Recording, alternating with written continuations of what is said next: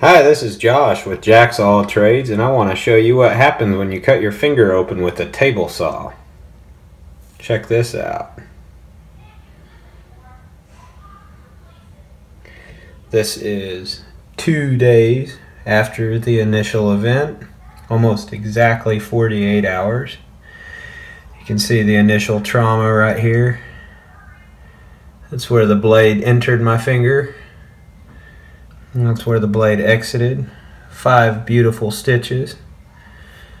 Broken nail. Broken bone.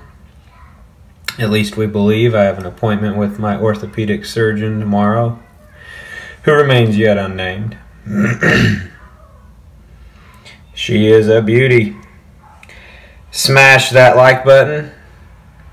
Subscribe. Comment with any thoughts you may have.